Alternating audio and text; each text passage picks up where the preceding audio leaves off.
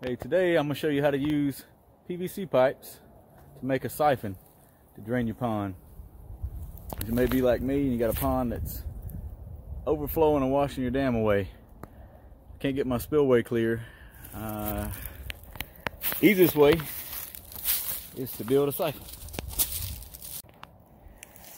I'm gonna get a big piece of corrugated pipe, dig me a ditch, run it straight through the dam. Like a new spillway. So you can see that feeds to my creek back there. The old spillway, about 10 feet out. Can't even see it because the water level's too high. See if I can zoom in on it. It's a chimney type. It's clogged up. This pond's pretty nasty. Need to clean it too.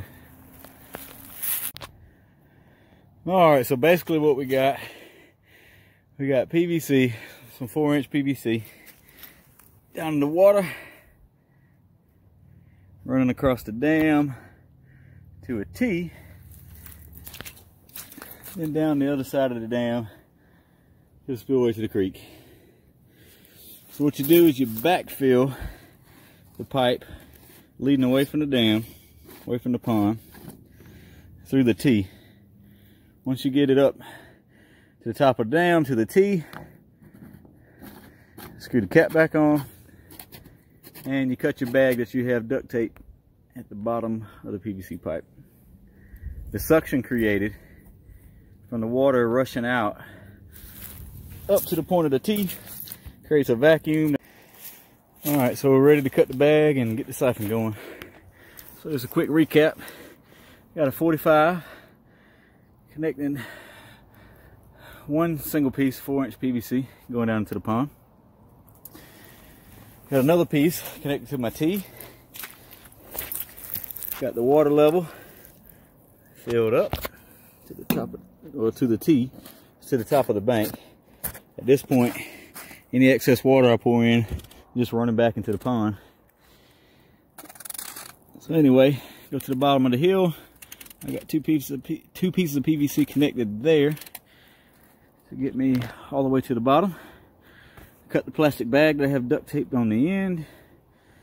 From the water flowing out of the end to the T creates a suction. That's gonna get the siphon going. And it'll just keep draining and draining, gravity fed until the water level gets low enough for it to cut off. All right, so let's get it. All right, here we go.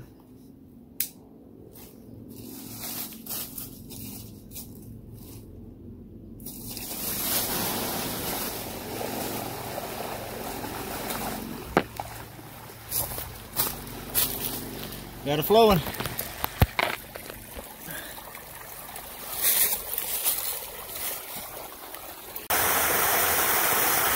Flowing good.